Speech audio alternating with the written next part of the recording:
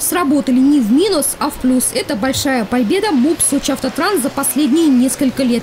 Если в прошлом году были долги в 52 миллиона, то в этом за 9 месяцев работы доход в 39 миллионов рублей. Такой результат достигнут благодаря тому, что на предприятии наведен порядок. В первую очередь поменялось руководство. Сочи Автотранс самостоятельно стал проводить ремонт и техническое обслуживание, отказавшись от услуг сторонних организаций. Отказались и от некоторых нерентабельных маршрутов, например, автобуса под номером 18.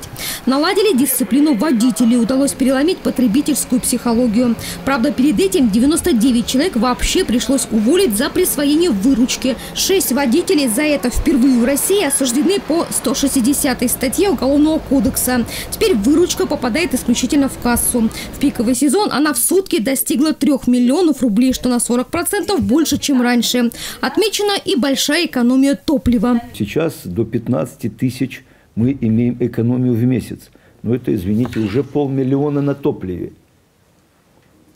По запчастям, по э, сервису, по другим моментам. То есть и по крупицам мы начали комплектовать с вами то предприятие, которое нам нужно. Которое нам нужно.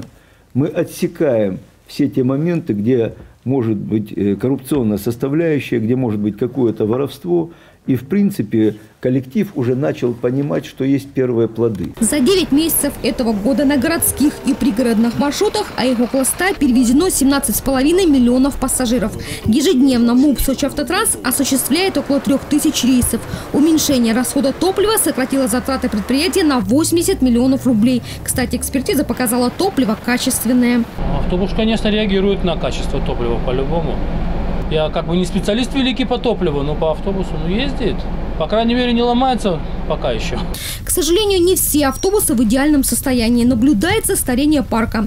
Подвижной состав имеет пробег с начала эксплуатации 300-450 тысяч километров, а в некоторых случаях доходит до полумиллиона. Я проверяю любую тягу. Она ответственна за повороты влево-вправо руля и колес.